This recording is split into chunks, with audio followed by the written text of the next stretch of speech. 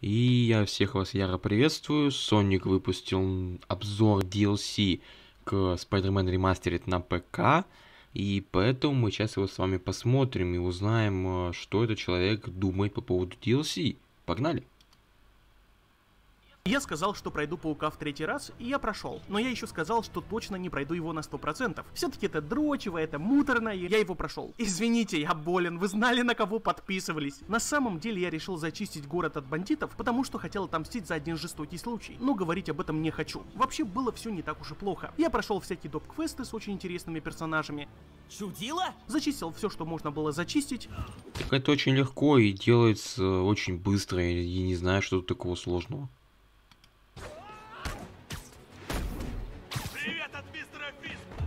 Ам, ну, ему тоже привет, там, здоровье. Прошел все испытания на золото и получил в итоге наряд паука в трусах. А, наряд паука в трусах он получаешь, по-моему, не за это, не за полное похождение, но я не помню, если честно уже. Я, я могу ошибаться.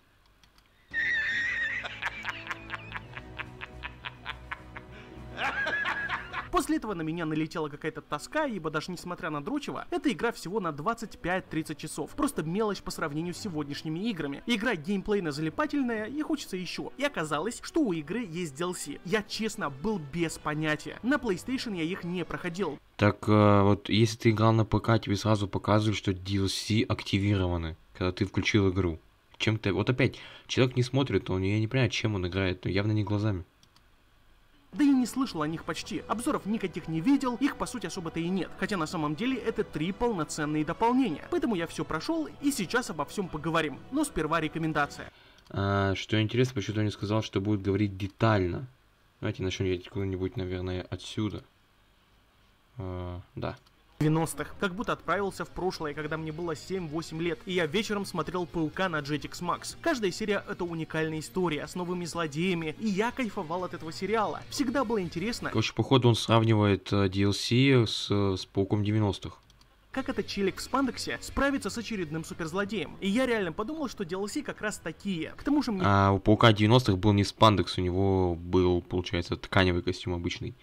Так, э, каждая DLC это мини-история, крутой новый злодей, Питер пытается его остановить и получает новый гаджет или навык. Хочется уже более приземленные локальные истории, ибо глобальные сюжеты ну достали. Все они про то, что сейчас Землю уничтожат, что появился какой-то вирус, дыхание дьявола, черная смерть, еще какое-то дерьмо. Все плохо, всем хана. Она умерла! Погибла жуткой страшной смертью! Все, кого ты любишь, почему-то гибнут! А! К сожалению, эти DLC не воплотили мою фантазию. Как он задолбал растягивать видосы по поводу, блядь, и без. Ну come on. Это так раздражает. Точнее, они сделали это частично. В общем, начинается первый DLC с того, что Паук узнает об ограблении музея. Грабители это какие-то челики из мафии. Плюс еще объявилась черная кошка. Она берет какую-то флешку и рассказывает cool story о том, что один из боссов мафии заставляет ее красть эти флешки, и когда она все найдет, мафия вернет ей сына, которого они похитили. Тогда зачем тебе красть ее? А иначе... Моего сына убьют. Паук, у которого интеллект на уровне гения, Ура, шуточки из обзоров на Бэтмена, вау. конечно же, ей верят и помогает. Угадайте, что оказывается в конце. Никакого сына нет. И кошка все наврала. Не может быть. И разочарование наступает тогда, когда приходит осознание, что на самом деле DLC имеют один общий сюжет, причем очень слабый, где есть злодей Кувалда, который ворует у Silver Sable технику, чтобы стать самым влиятельным мафиози в городе. И, собственно, всю сюжетку дополнений мы этим челиком и занимаемся. Ну как бы он собирался не самым влиятельным стать, а вернуть уважение и страх, потому что, как он говорил, Маджию больше не боятся и не уважают. Он хотел просто вернуть старые времена. Не поймите меня неправильно. Игра в плане Паука интересна, он все так же кринжово, но очаровательно шутит. Как он допрашивает бандитов вообще вышка. Он допросил, по-моему, всего лишь одного бандита. Вот этого. Все.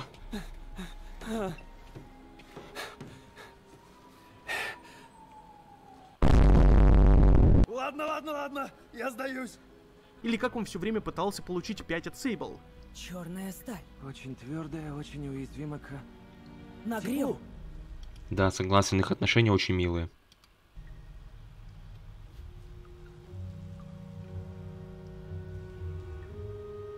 И видно, как развиваются его отношения с самым важным, что есть у него в жизни.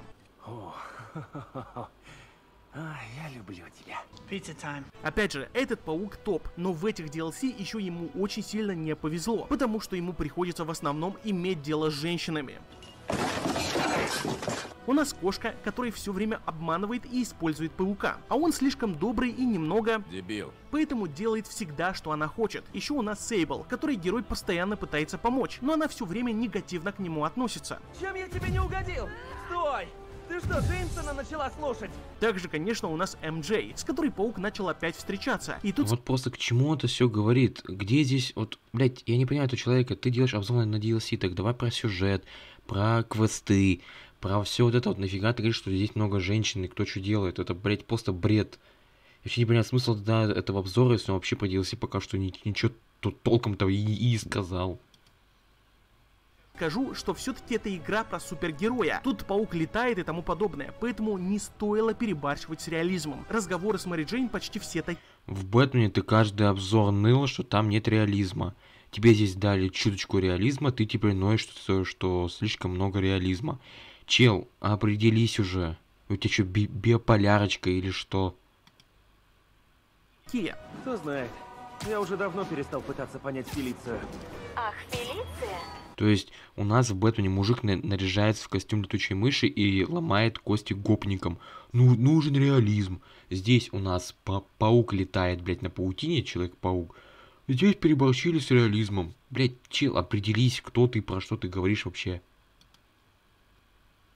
Что, друг с другом на «ты»? Ну, можно, наверное, и так сказать. Фелиция никогда не торопится. Она очень методична. Да неужели? А, В последнее время в твоей жизни много женщин. и ни с кем из них не просто. Кроме тебя, конечно. То есть я, значит, простая. Женщина, да? Опять же, слишком реалистично и натурально. И, конечно, не стоит забывать про Юри. Паук, зацени. Как же он растягивает видос, я прям не могу. Подарок от моего мелкого. Вот черт, этот перс умрет через 3 секунды. И чё?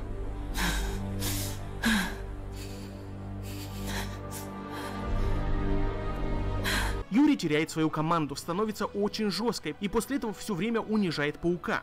Мы должны работать вместе. Катись отсюда, к чертовой матери. То есть она его послала, потому что у нее очень сложный период, она потеряла всю свою команду, ей от этого больно, ей она хочет отомстить, и он ей лезет, мешает, и получается она его тем самым унижает. Чего, блядь? В итоге ее сюжетка ничем особенным не заканчивается. Конечно, выйдут какие-нибудь гики и скажут, что нужно было комиксы читать, что Юри это Рейв, и тут показывается ее становление, но я не должен читать миллиард первоисточников, чтобы игра стала интересной. А зачем тебе читать? Тебе дали становление персонажа, все. Там есть намеки на продолжение. Все, тебе не обязаны давать конец какой-то. Потому что это затравка на продолжение. Это открытый финал. Чувак, ты знаешь понятие открытый финал вообще? Пойди, пожалуйста, почитай. Может, чего умного наберешься. На самом деле задолбали эти гики, не знаю, как с ними общаться дальше, вообще сил нет. Гикам лезть не надо. Это еще кто? Кто ты? Гиков трогать не надо. Если оставить Блин, ну как он растягивает? Я не могу, блин, он так растягивает свои ролики, как это бесит. Ну не можешь ты наполнить их контентом. Подожди, не выпускай ролик так быстро, посиди, подумай, впиши что-то в сценарий. Нет, я буду растягивать видос тупо ради того, чтобы впихнуть рекламу. Боже, право, какой он... Как мне это вымораживает, пожалуйста. Растягивание просто ради растягивания, понимаешь? Себе ролик растягивали интересным, продуманным и а, ну, короче говоря, контентом. Здесь вообще просто растягивание ради растягивания. все эти шуточки, то следить за персами и за развитием их отношений более-менее интересно. Та же Сейбл в оригинальной игре довольно кринжовый персонаж, а тут она раскрывается лучше и каждый момент с ней довольно прикольный. Да что это с тобой? Ты же из хороших парней! Да, я из хороших. Но я не парень. Но в том-то и дело, Тут, скорее всего, перевели неправильно, типа good guys, типа, можно по-разному перевести, там, мне кажется, зависит от этого, от контекста. Я не, я не знаю, что он ему ответил в, в оригинале, я просто предположение свое даю. Может, и правильно перевели, я, я, я могу ошибаться. Что дальше вот этих микросюжетов в игре ничего интересного в плане истории нет. Злодей просто ни о чем. Хочет больше власти и делает из себя киборга ради этого, типа, типа вообще насрать. Так что сюжетец такой филлерный. Есть некое разочарование после прохождения. И, к сожалению, с геймплеем все еще хуже. Слушайте, я бы мог сказать, что все на высоте, вы бы сказали, да, это так, абсолютно согласен с этим мнением, лайк и репост. На что только люди не идут ради просмотров. Но я должен сказать все-таки как есть. Ну, для объективности сперва плюсы. Как он растягивает, я еще что-то говорю, он загибал. Компания первой DLC на удивление очень классная геймплейна. Оно как раз делает то, что должно делать хорошие дополнения. Например, в оригинальной игре ты уже наизусть знаешь паттерны врагов. Набиваешь там 150-200 комбо, поэтому тут добавили новых каких-то врагов. Громилы с пулеметами, летающие чуваки со щитами и так далее. Это клево. Приходится с ними считаться. И вообще-то плюсик для всех трех DLC, ибо новые враги появляются постепенно. Ну и первое дополнение еще приятно удивляет разнообразием миссий. То задание с паука-ботом, реально очень классная погоня за кошкой, Так, а дальше? Или вот первый прикольный стелс-момент в игре, когда можно отдавать приказы Фелиции, То есть он показал погоню, просто финальную катсцену. Чел гений. и вы вместе по-тихому всех врагов вырубаете. Все это что-то новое или что-то, что улучшает механики оригинала. Как что-то новое, это то же самое, что было в Batman Arkham Knight. То же самое. Почему-то про это он ни слова не сказал. Поэтому за это плюс, классно, уважение, респект, мне было весело. Но потом ты запускаешь второй DLC, и в этом моменте у разрабов, видимо, фантазия закончилась. И я сейчас не шучу. Почти все миссии превращаются в beat 'em up. То есть где-то 3 часа после начала второго DLC ты просто избиваешь врагов. Контекст меняется, конечно, но суть одна. Ты дерешься, дерешься и дерешься. Игра не дает передохнуть. Если не считать миссию с охраной Сейбл, Но он, видимо, ожидал, что будет совершенно другая игра в этих DLC. Видимо, это он ожидал. Но, он, видимо, он не подумал, что он будет играть в DLC к Человеку-пауку, где ты все равно будешь драться при любых условиях. был, она довольно классная, и финального босса, то можно сказать, что DLC забывают про креативность, что была в оригинале и в первом дополнении. Даже не буду говорить о том, что разрабы добавили в игру миссию с преследованием из Ассасина. Да, это реально. Чего, блядь? То есть, секундочку, раз персонаж преслед- преследует другого персонажа, значит это ассасин? Когда это стало ассасином? Почти в любой игре есть преследование, в том же, блядь, Бэтмене. Ты до хера кого преследуешь? Это, это, это не ассасин, чувак, у тебя ассасин головного мозга. Это не так работает. То есть, если у него добавили одну механику при преследовании, значит все, это взяли из ассасина. Ну просто чел гений. Во второй мафии ты тоже преследуешь дофига народу. Чё, тоже ассасин, да? Все, все, все скопировали с ассасина, да.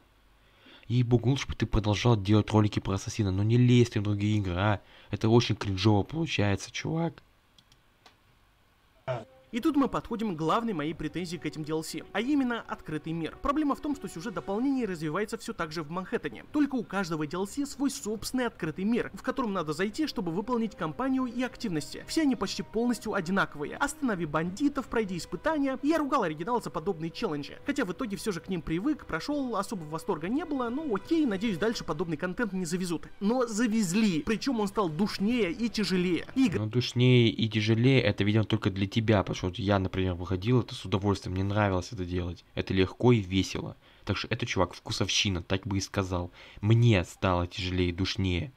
Это моя, типа, мое мнение, мой вкус. Вот и все. Претензий бы не было. Игра вводит тебя в заблуждение, говорит следовать за линией и добраться до финиша. Но на самом деле за линией не только можно, но и нужно не следить, ибо только так добьешься хорошего результата. Короче, такого контента Чего? Типа он говорит про вот эти, ну как бы да, ну как бы нет, потому что нужно следить за линией, потому что нужно ломать эти вот э, генераторы эти в определенном порядке. Если ты сломаешь не в том порядке, тебя током шарахнет. Идиот. Просто тона. Он занимает где-то в два раза больше времени, чем сюжетная кампания. И все для того, чтобы DLC оправдывали на консоли ценник в 25 долларов. Потому что иначе я не понимаю, зачем нужно было создавать собственный мир для каждого DLC. Все это дрочево стоило вырезать и добавить в оригинальную игру просто сюжетные миссии. При этом вырезав также всю душниловку, где часами надо избивать неписей. По сути, DLC на 3 часа просто попытались растянуть как можно больше. Разделили на три части, добавили много филлерных миссий с той же чуделой, которые ни к селу, ни к городу, и много собирательство, драк и прочее. Я такое не уважаю. А знаете, что я уважаю? Да, давай ты договори. Тех, у кого есть чувство меры. Полностью согласен. Я определенно не считаю DLC прям ужасным. Опять Я чуть не видел, что там чем-то перебарщивали. DLC, вот все эти э, активности, они быстрые, легкие, там от силы по 3-4 штуки на каждую. Проходить, блядь, буквально за минут 15 можно вообще все пройти. Имею в виду вот именно вот эти все активности. Ну, 15-20 минут максимум. Ты не будешь сидеть э, и, как ты сказал, надрачивать, душниться. Значит, это проблема в тебе, раз тебе душно, и ты надрачиваешь, сидишь. Значит, надо в себе проблему поискать, а не в игре. же, Спайди я люблю, и шарм этого героя спасает. Человек-паук. Спасибо за все. Но все же DLC не дотягивают до уровня оригинала. Даже гики были в шоке от такого даун... А, то есть это гики именно, да? То есть он, он, вот смотрите, он узнал новое слово, еще будет его в каждый ролик пихать. Я гарантирую это. И с чего он решил, что это именно гики оценивали? Он, вот почему именно гики? Типа, типа только гики в игры играют, да? Да, чел. И он сейчас по-любому опять эту вставку с тем парнем, про про гиком говорит, сделает, да? до качества.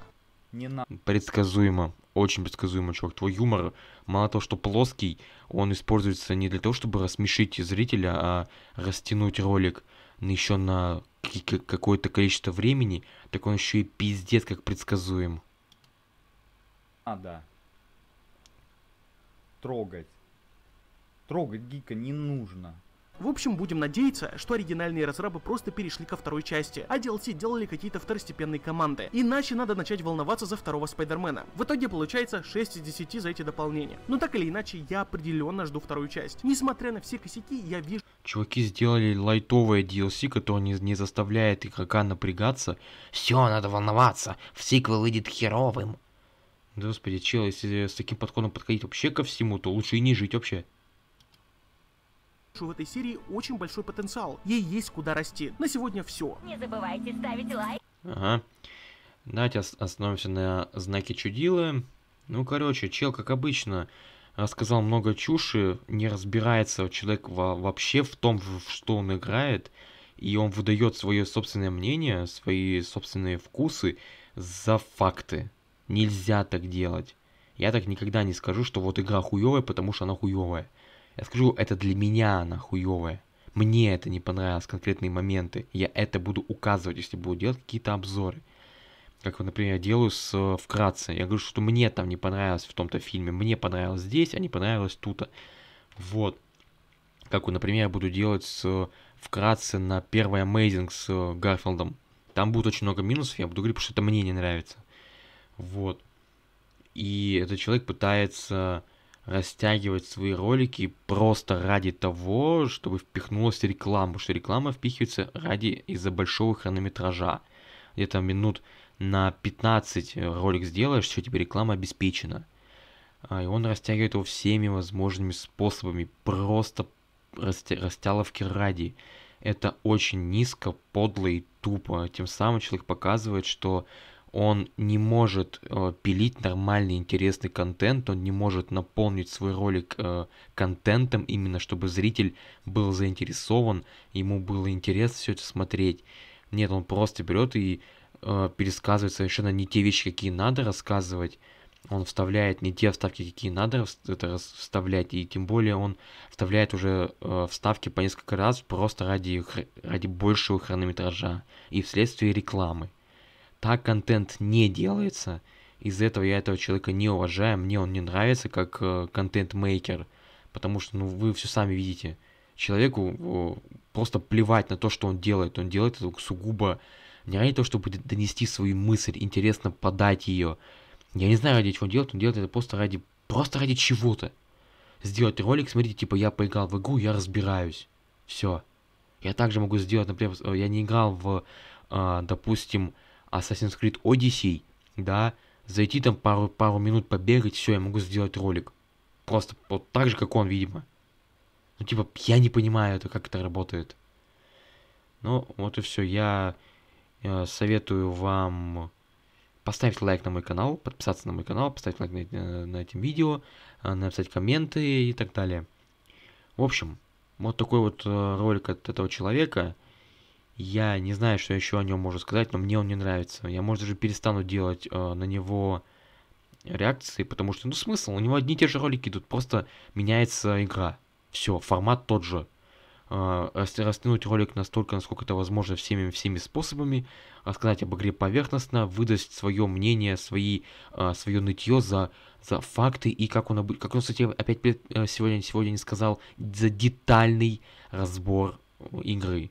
Почему-то сегодня он не сказал, что мы будем детально разбираться. Неужели он мой ролик посмотрел? Но было бы круто, если он посмотрит этот ролик и что-то изменит в своем формате, в своем э, подходе к созданию роликов. В общем, я с этим заканчиваю, с этим роликом. Э, всем удачи, всем пока-пока.